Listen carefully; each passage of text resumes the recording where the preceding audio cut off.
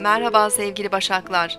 İç dünyanızın tamamen farkındasınız. Bu sayede hislerinizi de tepkilerinizi de kontrol edebileceksiniz.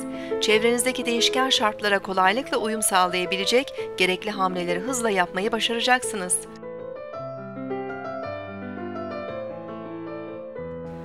Bugün 3 Temmuz 2014 Perşembe, Jüpiter günündeyiz. Başak Burcu'nda ilerleyen ay, sabah saatlerinde Satürn'le olumlu açı yapacak. İş ve sorumluluklarımızla ilgilenebileceğimiz bir gündeyiz.